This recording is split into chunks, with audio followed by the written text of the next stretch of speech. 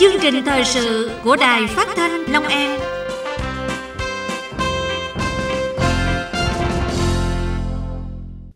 Kính chào quý thính giả đang theo dõi chương trình thời sự buổi chiều của Đài Phát thanh Long An. Thưa quý vị, sáng nay ngày 5 tháng 9, Ngày toàn dân đưa trẻ tới trường, hơn 22 triệu học sinh sinh viên trên cả nước nô nức đi dự lễ khai giảng, chính thức bước vào năm học mới 2016-2017. Nhân dịp khai giảng năm học 2016-2017, Chủ tịch nước Trần Đại Quang đã gửi thư chúc mừng tới các thế hệ cán bộ, công chức, viên chức ngành giáo dục, các bậc phụ huynh và các em học sinh sinh viên trong cả nước. Đây là năm thứ hai ngành giáo dục thực hiện để khai giảng thống nhất trong sáng ngày 5 tháng 9, ngắn gọn và thực sự vì học trò. Theo đó, cả nước đã tổ chức khai giảng đồng loạt vào lúc 7 giờ 30 phút. Sau đây là không khí ngày lễ khai giảng năm học mới ở các trường học trên địa bàn tỉnh mà phóng viên cộng tác viên của đài chúng tôi đã ghi nhận. Mời quý vị cùng theo dõi. Thưa quý vị, sáng nay 5 tháng 9 2016, trường Trung học phổ thông Hậu Nghĩa, huyện Đức Hòa đã tổ chức lễ khai giảng năm học mới 2016-2017 Buổi lễ có sự tham dự của nguyên Chủ tịch nước Trương Tấn Sang, Bí thư tỉnh ủy, Chủ tịch Hội đồng nhân dân tỉnh Phạm Văn Rạnh cùng lãnh đạo Hội đồng nhân dân, Ủy ban nhân dân, Ủy ban Mặt trận Tổ quốc Việt Nam tỉnh và đại diện các sở ban ngành tỉnh. Tại lễ khai giảng, đại biểu và tập thể nhà trường được nghe thư chúc mừng năm học mới của Chủ tịch nước Trần Đại Quang. Cũng trong buổi lễ, nguyên Chủ tịch nước Trương Tấn Sang tiến hành nghi thức đánh trống khai giảng, chúc mừng thầy trò trường Trung học phổ thông Hậu Nghĩa bước vào năm học mới 2016-2017, đạt nhiều thành công trong công tác dạy tốt học tốt, đây là năm học đầu tiên trường Trung học phổ thông Hậu Nghĩa thực hiện nghị quyết 265 của Hội đồng nhân dân tỉnh về xây dựng trường Trung học phổ thông phát triển theo định hướng chất lượng cao. Dịp này, Ngân hàng Thương mại Cổ phần Bưu điện Liên Việt Thành phố Hồ Chí Minh vinh dự nhận bằng khen của Ủy ban nhân dân tỉnh Long An vì có thành tích vận động đóng góp thực hiện công tác xã hội tại huyện Đức Hòa. Sau lễ khai giảng, các đại biểu tiến hành nghi thức các ban khánh thành khu thể dục thể thao của trường do Ngân hàng Bưu điện Liên Việt xây tặng với diện tích 850 m2, kinh phí xây dựng 6,6 tỷ đồng, gồm một số hạng mục chính như hồ bơi, sân bóng chuyền, cầu lông, bóng đá. Sáng nay, trường Trung học phổ thông Cần Duộc tổ chức khai giảng năm học mới 2016-2017. Phó Bí thư tỉnh ủy ông Đỗ Hữu Lâm, Bí thư huyện ủy Cần Duộc ông Nguyễn Văn Thiệp đến dự. Năm học 2015-2016, trường Trung học phổ thông Cần Duộc tỷ lệ học sinh tốt nghiệp trung học phổ thông đạt 96%, trúng tuyển vào các trường đại học cao đẳng đợt 1 đạt 60%, hiệu quả đào tạo đạt trên 87%. Với những kết quả đạt được trong năm học qua là động lực để năm học 2016-2017, trường Trung học phổ thông Cần Duộc đạt thành tích cao hơn trong sự nghiệp trồng người. Dịp này, trường khen thưởng cho những học sinh đậu thủ khoa kỳ thi tuyển sinh lớp 10, kỳ thi tốt nghiệp trung học phổ thông và những học sinh đậu đại học điểm cao. Thầy và trò trường Trung học phổ thông Phan Giang Đạt, huyện Châu Thành cũng đã tổ chức lễ khai giảng năm học 2016-2017. Phó Bí thư tỉnh ủy, Chủ tịch Ủy ban Nhân dân tỉnh, ông Trần Văn Cần đến dự. Năm học 2016-2017, trường Trung học phổ thông Phan Giang Đạt có hơn 600 học sinh với 18 lớp. Phát huy những kết quả đạt được trong những năm học qua, nhà trường tiếp tục thực hiện tốt công tác hướng nghiệp, dạy nghề, duy trì các chỉ tiêu trường chuẩn quốc gia, thực hiện tốt đề án dạy ngoại ngữ giai đoạn 2013-2020. Chủ tịch Ủy ban Nhân dân tỉnh ông Trần Văn Cần đánh hồi trống khai giảng, báo hiệu năm học mới chính thức bắt đầu. Dịp này, các mạnh thường quân đã trao tặng 10 suất học bổng cho học sinh nghèo hiếu học của trường. Phó Chủ tịch Ủy ban Nhân dân tỉnh, ông Nguyễn Văn Được đã đến dự buổi lễ khai giảng được tổ chức long trọng tại trường Trung học phổ thông chuyên Long An. Trước khi lãnh đạo nhà trường giống hội chống khai giảng năm học mới, Phó Chủ tịch Ủy ban Nhân dân tỉnh Nguyễn Văn Được đọc thư chúc mừng của Chủ tịch nước. Năm học 2016-2017, trường Trung học phổ thông chuyên Long An có 29 lớp với trên 800 học sinh và trên 100 cán bộ giáo viên. Trong năm học mới này, trường Trung học phổ thông chuyên Long An đề ra nhiều chỉ tiêu thi đua, trong đó chú trọng đổi mới chất lượng giảng dạy, tăng cường rèn luyện kỹ năng cho học sinh, đặc biệt là tiếp tục phát huy thế mạnh dạy tốt học tốt. Tại trường Trung học phổ thông Thạnh Quá tổ chức khai giảng năm học mới 2016-2017, ông Nguyễn Thanh Cang, Phó Chủ tịch Hội đồng Nhân dân tỉnh, ông Nguyễn Giang Tạo, Chủ tịch Ủy ban Nhân dân huyện Thạnh Quá về dự lễ khai giảng. Năm học 2016-2017 này, trường đề ra một số chỉ tiêu cụ thể là tỷ lệ học sinh giỏi đạt 18%, học sinh khá đạt 41%, có 99% học sinh được xếp loại hành kiểm tốt khá, 100% học sinh đủ điều kiện dự thi tốt nghiệp và tỷ lệ đầu tốt nghiệp trên 90%, giảm học sinh lưu ban bỏ học, tăng số lượng học sinh giỏi trong các kỳ thi học sinh giỏi văn hóa, thi giải toán, tiếng Anh trên Internet – phấn đấu đạt trường chuẩn quốc gia theo lộ trình đã đề ra. Sáng nay, trường Trung học phổ thông Kiến Tường tổ chức lễ khai giảng năm học mới 2016-2017. Phó Chủ tịch Ủy ban Nhân dân tỉnh Long An, ông Phạm Văn Cảnh và đông đảo các em học sinh tham dự buổi lễ. Năm học mới 2016-2017, trường Trung học phổ thông Kiến Tường có tổng số 41 lớp học với 1.720 học sinh. Bước sang năm học 2016-2017. Thầy và trò trường Trung học phổ thông Kiến Tường quyết tâm thực hiện một số nhiệm vụ trọng tâm như phấn đấu số học sinh đậu tốt nghiệp trung học phổ thông đạt 94%, tỷ lệ lên lớp thẳng đạt 97% trở lên, ít nhất 20 học sinh tham dự các kỳ thi học sinh giỏi văn hóa, máy tính cầm tay, thực hành cấp tỉnh. Có ít nhất 4 sản phẩm tham gia dự thi kiến thức liên môn, phấn đấu 100% giáo viên không vi phạm quy định về dạy thêm học thêm, thực hiện nghiêm túc phân phối chương trình 100% giáo viên dự giờ thao giảng đúng quy định. Tại trường Trung học phổ thông Cần Đước, ông Nguyễn Thanh Hải, trưởng ban tổ chức tỉnh ủy Long An, đã đến dự để khai giảng năm học mới. Năm học 2015-2016, trường có 1.442 học sinh. Kết quả xếp loại cuối năm có trên 56% học sinh được xếp loại học lực khá giỏi.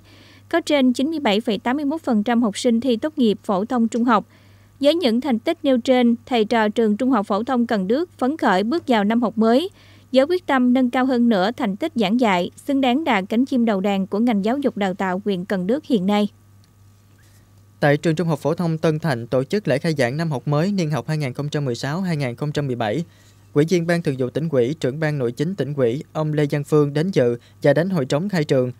Phó Bí thư huyện ủy Tân Thạnh, ông Nguyễn Xuân Thắm đã đọc thư của Chủ tịch nước gửi các thầy giáo, cô giáo và các em học sinh nhân dịp năm học mới năm học 2016-2017. Năm học mới 2016-2017, trường Trung học phổ thông Tân Thạnh tuyển sinh hơn 370 học sinh khối lớp 10. Trong năm học mới này, trường Trung học phổ thông Tân Thạnh chủ động phối hợp ba môi trường, gia đình, nhà trường và xã hội trong công tác giáo dục học sinh, tích cực đổi mới phương pháp dạy học, nâng cao chất lượng hai mặt giáo dục và hiệu quả đào tạo, nâng cao chất lượng dạy và học. Tại trường Trung học phổ thông Thủ Thừa, ông Đinh Ngọc Lâm, trưởng ban tuyên giáo tỉnh ủy Long An tham dự buổi lễ.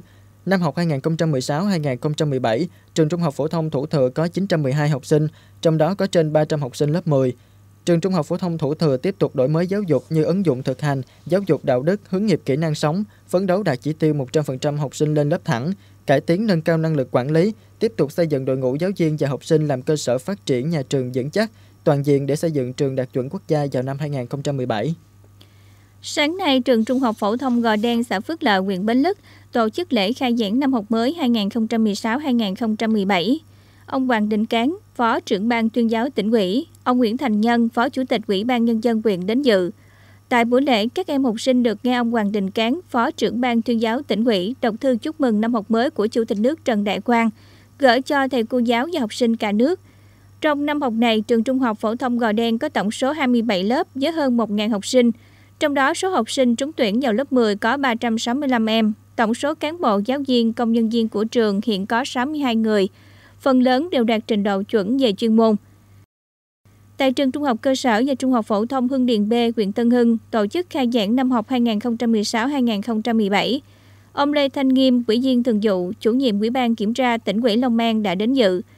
Năm học 2016-2017, trường Trung học cơ sở và Trung học phổ thông Hưng Điền B đề ra một số chỉ tiêu đối với bậc trung học cơ sở, hạnh kiểm khá tốt 97% trở lên, học lực khá giỏi 70% trở lên, lên lớp thẳng 97%, tốt nghiệp và tuyển sinh lớp 10 đạt 100%.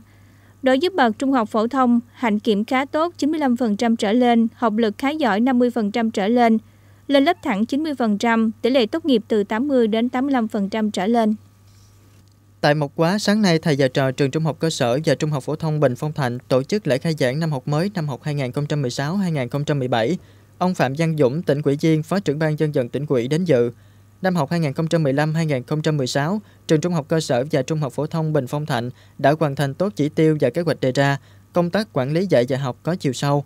Bước sang năm học mới, thầy và trò trường Trung học cơ sở và Trung học phổ thông Bình Phong Thạnh đã và đang tiếp tục nỗ lực giữ vững kết quả đạt được trong năm học qua, đồng thời tiếp tục phấn đấu giảm đến mức thấp nhất tỷ lệ học sinh bỏ học ở cả hai cấp trung học cơ sở và trung học phổ thông, giữ vững tỷ lệ học sinh đậu tốt nghiệp khối trung học cơ sở 100%, phấn đấu tỷ lệ học sinh đậu tốt nghiệp trung học phổ thông bằng hoặc trên mức trung bình chung của tỉnh và phấn đấu đạt chuẩn quốc gia vào cuối năm 2017.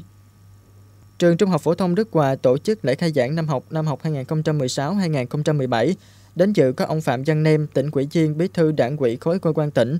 Năm học 2016-2017, trường Trung học phổ thông Đức Hòa tiếp tục nâng cao chất lượng, hiệu quả giáo dục, hạn chế tối đa tỷ lệ học sinh lưu ban bỏ học, nâng cao tỷ lệ lên lớp và độ tốt nghiệp trên 99%, nâng cao số đỗ đại học và cao đẳng ngày càng nhiều, thực hiện tốt các cuộc vận động và phong trào thi đua của ngành giáo dục, đẩy mạnh công tác xã hội hóa giáo dục.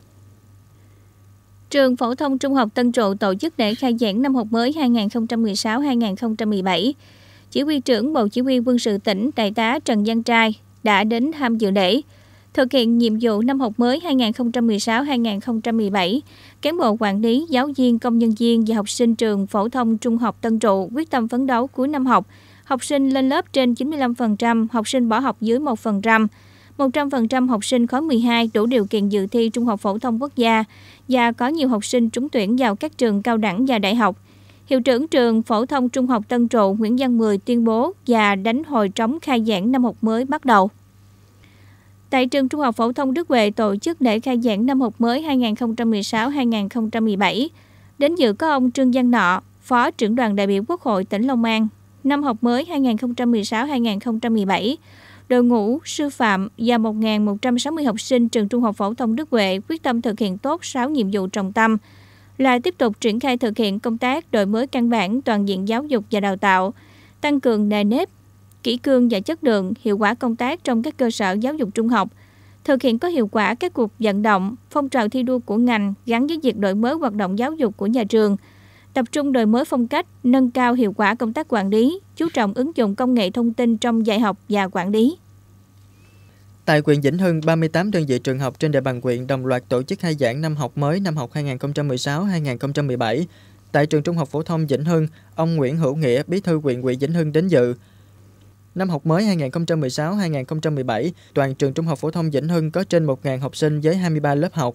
Đây là năm thứ hai thực hiện nghị quyết số 29 của Ban chấp hành Trung ương Đảng khóa 11 về đổi mới căn bản toàn diện giáo dục và đào tạo, đáp ứng yêu cầu công nghiệp hóa hiện đại hóa trong điều kiện kinh tế thị trường, định hướng xã hội chủ nghĩa và hội nhập kinh tế quốc tế, rèn luyện khả năng vận dụng thực hành của học sinh, tăng cường công tác hướng nghiệp cho học sinh. Sáng nay, trường Trung học phổ thông Lê Quý Đôn tổ chức lễ khai giảng năm học mới 2016-2017. Đến dự có ông Trần Kim Lân, Bí thư Thành ủy Tân An. Năm học 2016-2017, trường Trung học phổ thông Lê Quý Đôn có tổng cộng 1.435 em học sinh ở 3 khối lớp. Riêng tuyển mới học sinh lớp 10 là 410 em, chia làm 11 lớp trong đó có 5 lớp chất lượng cao. Học 2 buổi một ngày gồm 2 lớp khối A, một lớp khối B, một lớp khối D và một lớp khối A1.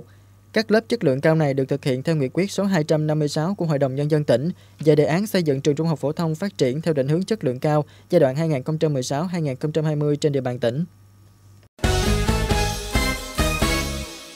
Xin chuyển sang phần tin trong nước. Sáng ngày 5 tháng 9, hơn 22,5 triệu học sinh sinh viên cả nước bước vào năm học 2016-2017. Lễ khai giảng diễn ra trong một tiếng đồng loạt từ 7 giờ 30 phút. Buổi lễ theo yêu cầu mới là ngắn gọn trang nghiêm với nghi thức chào cờ, tự hát quốc ca và đọc thư của Chủ tịch nước. Năm học mới này, ngành giáo dục đề ra 9 nhiệm vụ, 5 giải pháp để nâng cao chất lượng.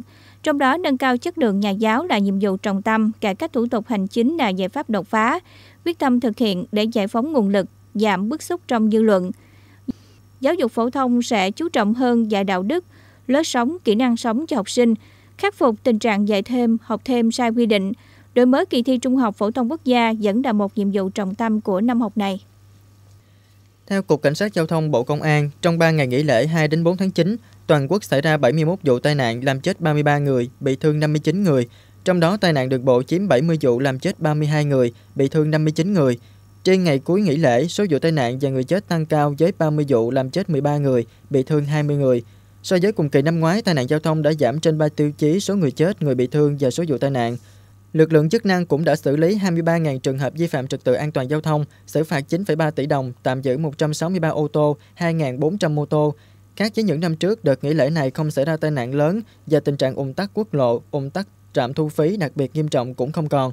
Tuy vậy, hiện tượng đua xe máy trái phép còn xảy ra trên quốc lộ 51 vào sáng sớm 2 tháng 9. Tình trạng ủng ứ giao thông vẫn còn ở một số tuyến cửa ngõ Hà Nội, Thành phố Hồ Chí Minh. Thưa quý vị, chương trình thời sự chiều nay của Đài Phát thanh Long An xin kết thúc tại đây. Chương trình này do Hoàng Trương biên tập cùng sự thể hiện của các phát thanh viên Phương Thanh và Ngọc Phú. Cảm ơn quý thính giả đã chú ý lắng nghe. Thân ái, chào tạm biệt.